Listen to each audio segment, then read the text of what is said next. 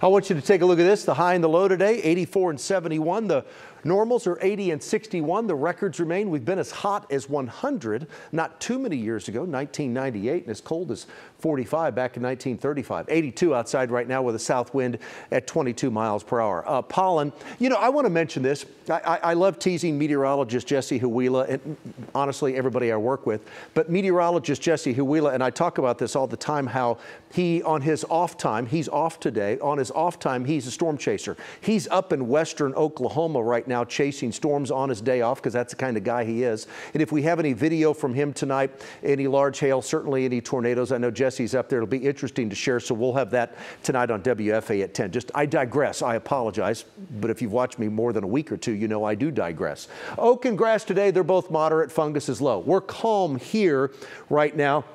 Tornado watch, it's for Clay County, Wichita Falls, and then locations all to the north, Oklahoma, Kansas, and also the state of Nebraska. Those are the thunderstorms that are firing up right now. There they are, northwest of Oklahoma City.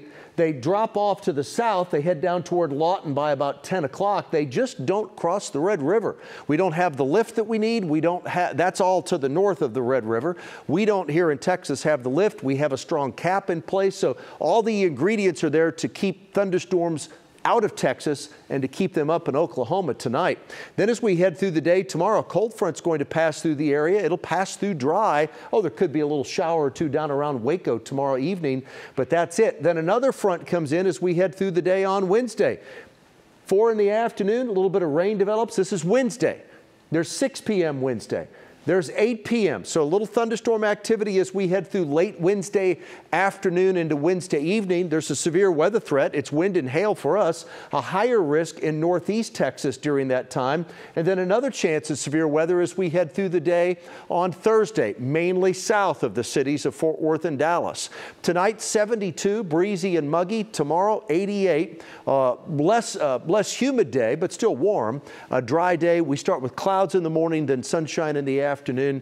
A little bit of rain on Wednesday. That Those thunderstorms on Wednesday, they won't be widespread, but 30% of us see that. A little bit of rain on Thursday. Friday, Saturday are dry. Right now, Sunday, most of Sunday is dry. Most of us on Sunday are dry, other than that low chance of a little spotty rain. A little better chance on Monday than better coverage of showers and storms the days following Mother's Day, Tuesday, Wednesday, Thursday, Friday, and then the following weekend right now is dry too.